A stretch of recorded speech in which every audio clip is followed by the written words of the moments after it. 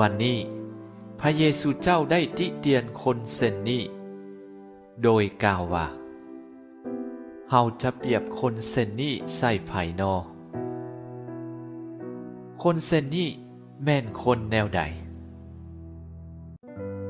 คนเซนนี้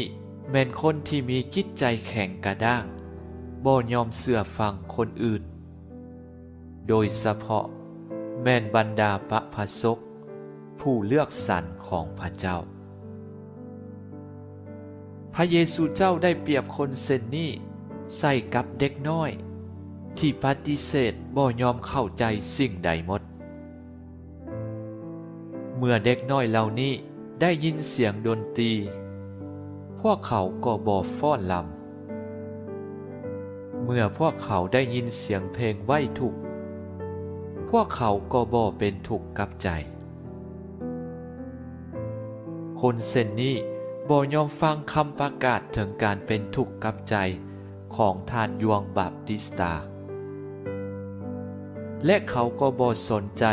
ในคำเทศสอนของพระเยซูเจ้า ทัศนท่าทีของคนเซนนี้สะท้อนถึง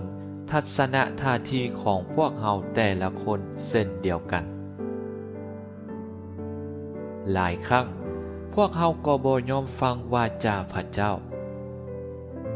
พวกเฮาปฏิเสธการเป็นทุกข์กับใจ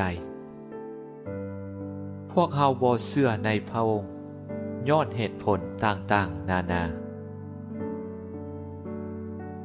ในกำหนดแห่งการเตรียมรับการเสด็จมาของพระเยซูเจ้านี้ จึงเป็นโอกาสให้พวกเฮาได้ผันเปลี่ยนชีวิต การกระทำที่บ่ถูกต้องของพวกเฮา